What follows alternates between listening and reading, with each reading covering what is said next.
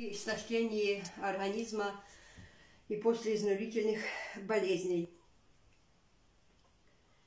300 грамм измельченных незрелых околоплодников на 1 литр спирта. Настаивать 2 недели плотно закрытой бутылке. Процедить. Принимать по 20 капель с водой. Три раза в день, как общеукрепляющее средство. Мазь. Одну столовую ложку измельченных листьев – залить 100 грамм подсолнечного масла, настаивать 7 суток, затем прогреть на кипяченой водяной бане в течение 2-3 часов.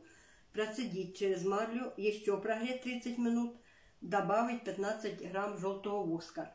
Использовать мазь для лечения ран, кожных заболеваний. Противопоказания. Плоды содержат большое количество растительного белка, поэтому у некоторых лиц с повышенной чувствительностью – После приема орехов может возникнуть аллергические реакции, крапивница, аллергический стоматит, диатез. Плоды ореха вредны для больных, у которых имеются такие кожные заболевания, как экзема, псориаз, нейродермиты. Их нужно кушать понемножку, если найдут реакции аллергические, значит можно кушать. Ну, на сегодня все. Всем пока.